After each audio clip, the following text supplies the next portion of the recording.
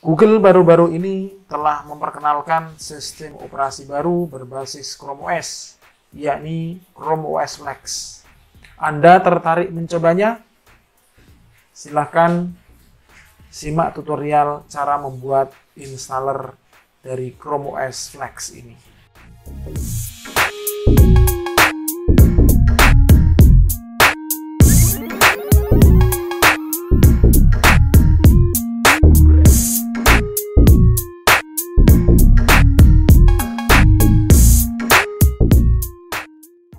Untuk membuat USB bootable Flex, kita membutuhkan bantuan dari browser Google Chrome.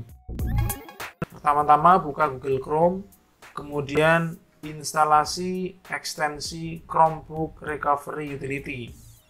Silakan ketikkan di search engine dengan kata kunci Chromebook Recovery Utility.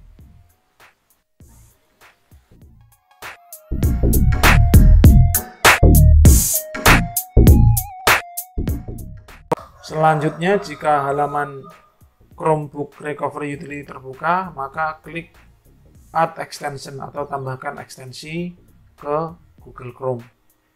Kemudian, silakan login ke akun Google Anda.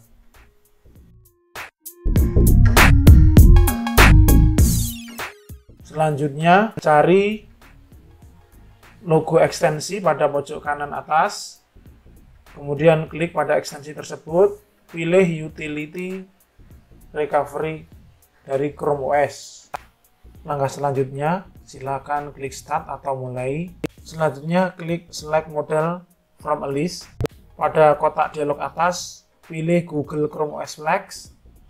Dan selanjutnya, yang kotak dialog bawah, pilih Chrome OS Flex Developer Unstable.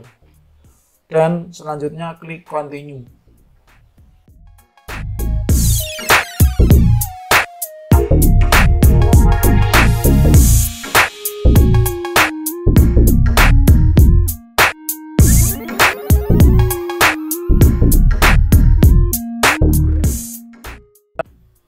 Selanjutnya, pastikan USB drive Anda sudah tertancap dan kapasitasnya memenuhi sesuai persyaratan.